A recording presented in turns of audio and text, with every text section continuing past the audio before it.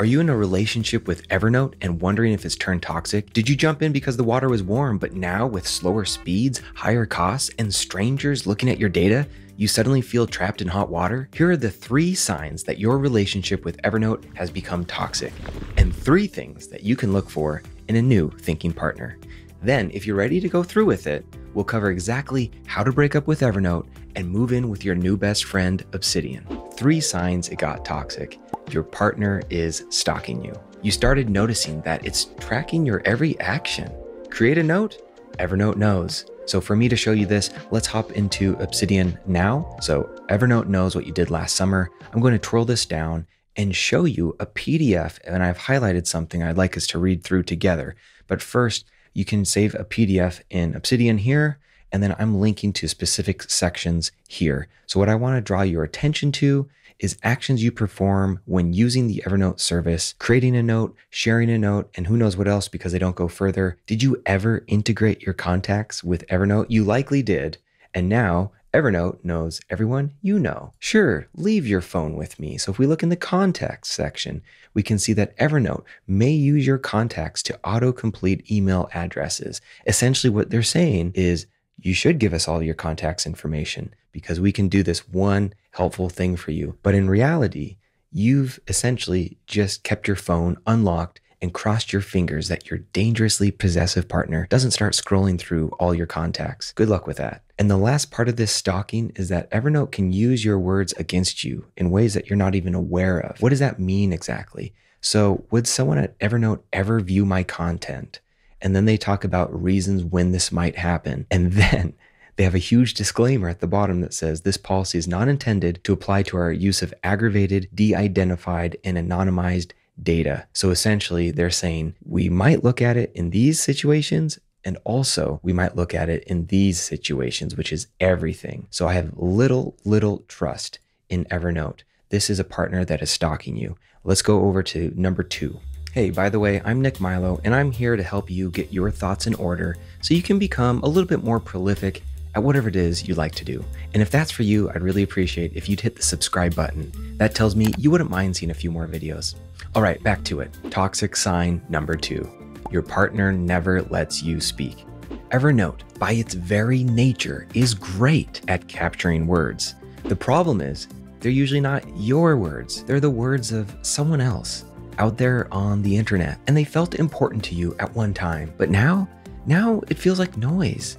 And worse, it's blocking the really important thoughts of your own, your cherished memories, your ideas. The noise is drowning out this signal. Now, this is supposed to be a treasured space of yours, a place to help you remember and make sense of the world. But now, now it's just a bunch of other people's words. How did we get here? Well, let's be kind to ourselves. We didn't know better back then, and we captured way too much. So now, if you feel like Evernote is painful to interact with, is likely because your partner never lets you speak. Toxic sign number three your partner left the country. How would you like to wake up one day and learn that your partner moved to Italy overnight and completely ditched all of their old friends? That's exactly what Evernote just did. It was bought out by a company in Italy called Bending Spoons, and half a year later, they fired everyone. So, whoever you might have had trust with at Evernote, they're no longer there. Whoever cared about honoring your privacy, they're not there. You are just another user with an estimated lifetime value being objectified in board meetings. How can you trust Evernote when everyone, everyone who ever worked at the company has been fired? Wow researching this piece actually riled me up way more than I was expecting. So if you feel your relationship with Evernote has become toxic, now let's explore the three things that you can look for in a new thinking partner. Three things to look for in a new thinking partner. Number one, your partner is responsive. All right, so after being in Obsidian, it's really hard to use other apps because they're just so slow. And get this, while we're waiting for a web page to load, our thoughts they're not waiting around, they're gone. If you want to work closer to the speed of thought and have your app catch up with your mind, you'll want to consider using Obsidian as your new thinking partner. Number two, your partner can be trusted. I don't get using online apps for your personal notes. I mean, your most intimate information on someone else's server, Your private thoughts in someone else's hands? I mean, that's crazy. Now, Obsidian offers end to end encryption, which means this you can have files on your phone, communicate to files on your computer, and everywhere in between, it's encrypted. No other notes app keeps your information more private. I mean, how often do you see this in the App Store? And the third thing to look for in a new thinking partner, number three, your partner isn't leaving the country. Most apps blind you with the shiny, then in the darkness bind you. Before you know it, you can't leave the app without some sort of serious digital surgery. The good news is it's a lot easier now, as I'll show you in just a second. Now, with Obsidian, even if it vanishes tomorrow, you would still have all your files readily available as files on your computer in a format that's easily readable.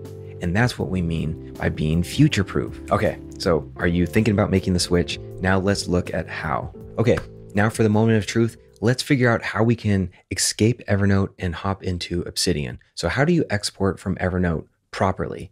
Now, the mistake is opening Evernote, especially if you haven't downloaded it already in a long time, and going from the most up to date release. You'll actually get trapped. It'll want you to provide a credit card, it'll give you a seven day trial, and after those seven days, Evernote starts charging you. I mean, this is just a way to ruin the relationship even further. Now, if you want to bypass that, at least on Apple devices, you can go to a place like macupdate.com, I believe, and you can get Evernote version 7, and you won't need to input any credit card information. You can just do the one thing that you need to do export your notes.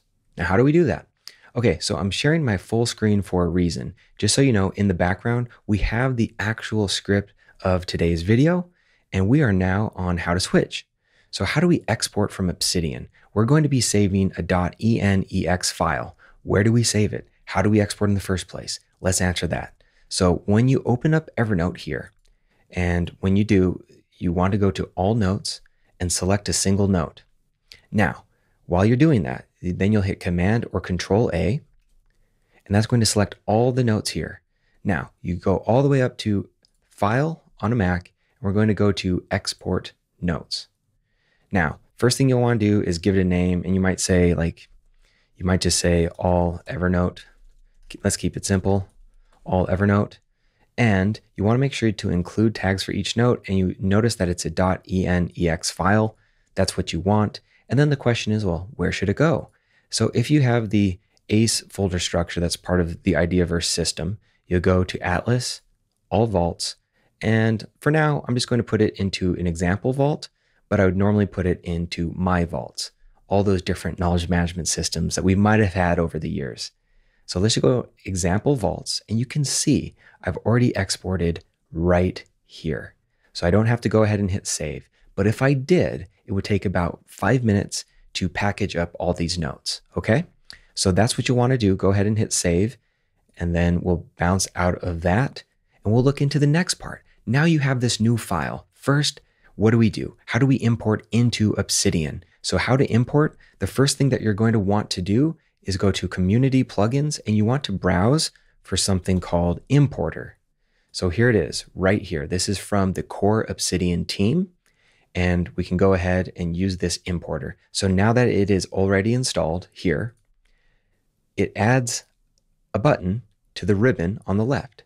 So I can just hit this button and it's going to import data. Right now, I confirm I want the Evernote file format. Then I'm going to look for the files to import and I want to put it in an output folder. So where do I want to put these files? So now, if you're part of the ACE folder structure, you want to go Atlas, Vault, and then, excuse me, Atlas Vaults, and then Evernote. So if I browse this file, I go Atlas, I'll find my vaults, I'll find that example vault, and I'm going to click on my .enex file and go ahead and hit open. So now it's loaded. Everything is ready to go. I've already done this though, so we're not going to waste any time now. When you do hit import, so I have about uh, 3,100 notes and double that in total files. So it will take, I think it took around 10 minutes to do the import. So just hold tight. It will take some time, but wow, it's doing a lot of work. So let's pretend we hit import. Okay, thousands of notes from Evernote have been imported successfully into my Obsidian Vault, but where do they exist? So if you remember, I put them in Atlas, vaults, and then made a new special vault for all those Evernote notes, all 6,895 files. So what we're going to do is we could just open this and see everything that, that exists here.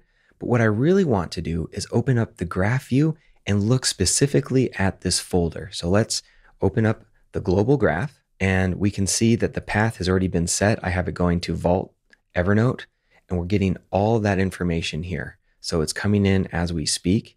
Now, this is the time that I want to go into the Ideaverse theme. Currently, it's called the LYT mode, and it will eventually be known as the Ideaverse theme. And why this theme is so important to look at is because it's beautiful and it's like a universe and it's cosmic and it allows you to recognize, whoa, notes, ideas, we can fly around this information, this knowledge. We can have a lot of fun wandering. Now, what you're looking at here, all the yellow dots are notes. All the purple dots are notes that have not been created. Now we can turn on tags, and that's where things get really wild because I had a lot of Evernote tags. Now, that looks like I had a healthy thinking environment in Evernote, but the tags are misleading. We can also turn on attachments, all these gray nodes. Now we can see how it's really expanding. And we can also say existing files only. That will get rid of the purple.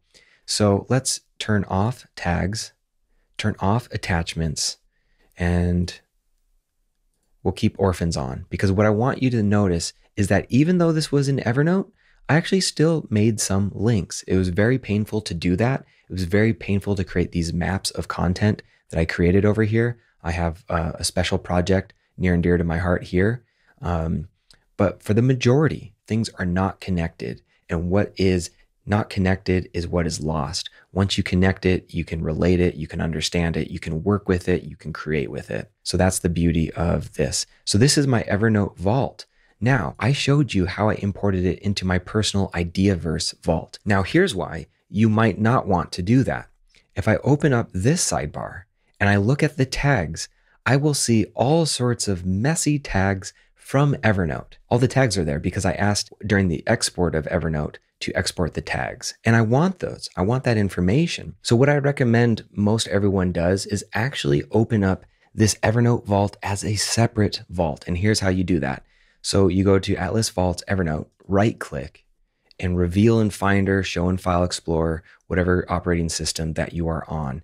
And you'll notice it's right here. I can track it down the breadcrumbs. And I want to now create a new vault and point it at this folder. So what I'm going to do is go back to Obsidian and open another vault. Now I want to open a folder as a vault. So that's that middle choice here. And I'm going to find it. If I recall correctly, we're going to go Atlas all vaults, example vault, and let's go example import. I actually set this up ahead of time and we're going to import into Evernote. I have a few extra folders because I need to keep some things private, but we're going to hit this magic button. And now we have all those notes here and it's doing a quick index. It's already done. Okay. So we made the new Evernote vault into LYT mode, Ideaverse mode. And now we can go into the graph. And now we can see that graph. We can actually see that it's quite snappy. And if we go to the tags over here, we can see all those tags, but now they won't be cluttering up this vault. And I can actually, knowing where this is saved and knowing the vault that I opened up was in a separate location, I would feel comfortable deleting this. I will do that eventually, but I don't want to do that right now. The point is you have your Evernote notes right here ready to go, ready for you. A lot of these are old, a lot of them I have not looked at in a very long time. Okay, so just to reiterate, you have two options with where you store your old Evernote notes either as a subfolder in your main Ideaverse, or you can have it as a completely separate vault. And we looked at that here. Now, if I were you, I would likely do a completely separate vault. Now, quick side note if you're looking for guidance on how to set up your Ideaverse, your custom learning environment where you do your best thinking, you can download this free Ideaverse kit, not with all my notes, but with the basic folder scaffolding and all these starting connections to get you going. It'll be in the description below. Amazingly, this thing has been viewed over half a million times and it's been downloaded over 70,000 times. So, this is the most trusted way to get started linking your thinking. Now, as of this recording, when you download it, you'll see it as the LYT kit. But in a month or so, it will officially be the Ideaverse kit forever after. And I hope it helps you have a healthier relationship with knowledge. And if it does, please let me know in the comments below. And that brings us to the big point enjoy having a healthier relationship to knowledge. You may find that Obsidian, in particular, creates an environment where you actually do some of your best thinking. See, whereas Evernote encourages information management, the hoarding and shuffling around of other people's words, Obsidian encourages idea management, the cultivation and development of your own mind. And that includes synthesizing and sense making and helping you generate your value and your voice. If Evernote has indeed become too toxic for you, it's not too late to break up. If you're feeling like a frog caught in a water pot boiling hot, it's not too fraught to hop up to the top and switch up the shop. You might just find that it's the beginning of a beautiful friendship. Okay, so are you switching? And if not, what's holding you back? Or if you've already switched, how's it going? Please let me know in the comments below. And until next time, stay connected. Hey, if you love this video and you want to learn more about how our tools shape us, yes, our note-taking tools, our note-making tools, you have to check out this video. It is an epic analysis of four different thinking tools, actually a few more, and how they actually affect how we think. So I hope to see you there.